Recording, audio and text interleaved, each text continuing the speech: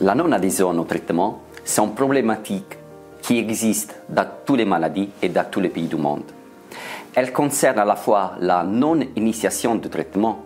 Par exemple, aux États-Unis, 20% des patients ne vont pas chercher leur traitement en pharmacie. Et soit la non-observance en cours de traitement. Elle est liée à plusieurs facteurs, comme la conviction des patients sur la nécessité du traitement, la différence entre la perception du bénéfice et du risque de traitement. Ceci est encore plus important pour les pathologies asymptomatiques comme l'hypertension artérielle. Ensuite, il y a deux autres facteurs additionnels qui sont liés à la durée des traitements, qui parfois entraînent une lassitude, et la complexité et la fréquence des prises. Plus on a de traitements à prendre par jour, plus l'adhésion est basse.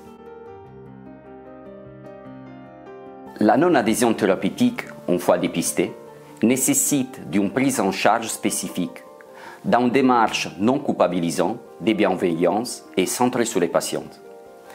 Trois solutions ont été identifiées à ce jour.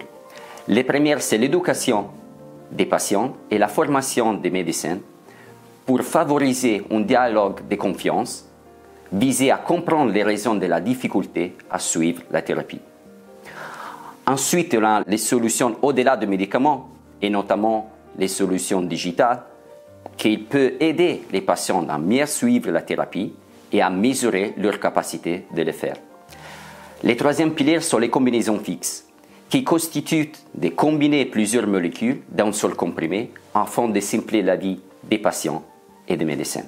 Comme laboratoire pharmaceutique, on a une grande responsabilité parce qu'on peut avoir un impact sur tous ces trois leviers. Et comme groupe Servier, L'adhésion au traitement, ce n'est pas que seulement un paramètre, mais c'est une véritable raison d'être.